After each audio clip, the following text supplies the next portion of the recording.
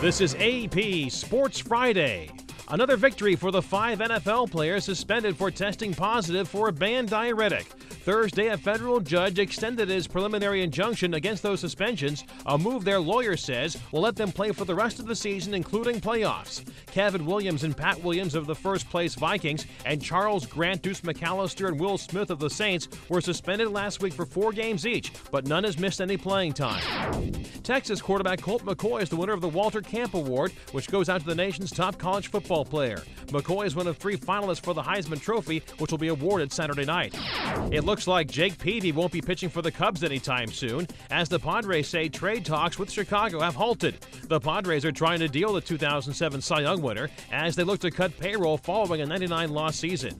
John Klobuchar, The Associated Press, with AP Sports Friday.